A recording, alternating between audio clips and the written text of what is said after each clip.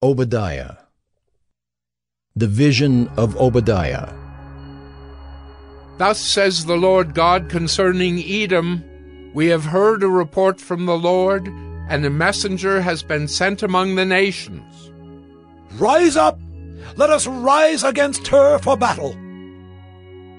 Behold, I will make you small among the nations, you shall be utterly despised. The pride of your heart has deceived you, you who live in the clefts of the rock, in your lofty dwelling, who say in your heart, Who will bring me down to the ground?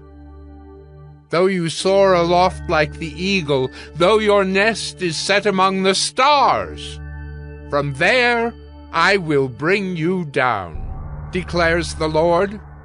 If thieves came to you, if plunderers came by night, how you have been destroyed! Would they not steal only enough for themselves? If grape gatherers came to you, would they not leave gleanings? How Esau has been pillaged, his treasures sought out. All your allies have driven you to your border. Those at peace with you have deceived you. They have prevailed against you. Those who eat your bread have set a trap beneath you. You have no understanding. Will I not on that day, declares the Lord, destroy the wise men out of Edom, and understanding out of Mount Esau? And your mighty men shall be dismayed, O Teman, so that every man from Mount Esau will be cut off by slaughter because of the violence done to your brother Jacob. Shame shall cover you, and you shall be cut off forever.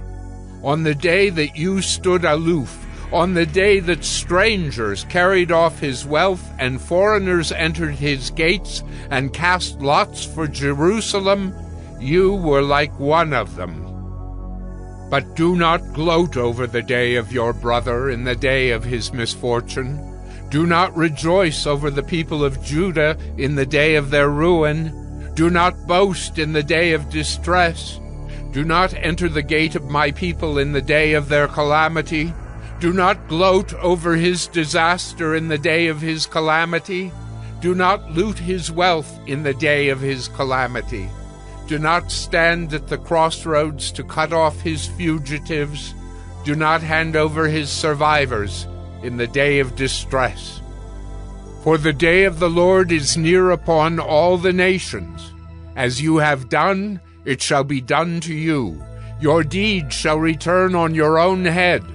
For as you have drunk on my holy mountain, so all the nations shall drink continually.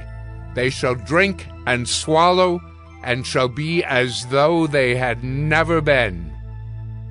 But in Mount Zion there shall be those who escape.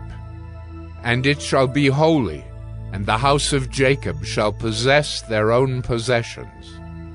The house of Jacob shall be a fire, and the house of Joseph a flame, and the house of Esau stubble. They shall burn them and consume them, and there shall be no survivor for the house of Esau, for the Lord has spoken. Those of the Negeb shall possess Mount Esau, and those of the Shephelah shall possess the land of the Philistines.